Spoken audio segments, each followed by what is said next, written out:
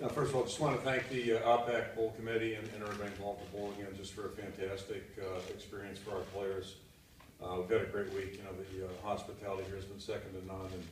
uh, even better than the previous games that we've been at, so uh, I really appreciate that. And, Then it's, it's been a good week, and we've uh, worked hard, prepared hard, our team's, you know, healthy, hopefully fairly rested, and ready to go tomorrow. Kirk, you, you, a speech to the team, I think before the Purdue game, told them nine wins was still possible.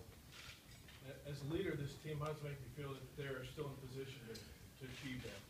Uh, you know, the, the point was that the season wasn't over, and, uh, you know, when, when things start going good, it tends to be doom and gloom, and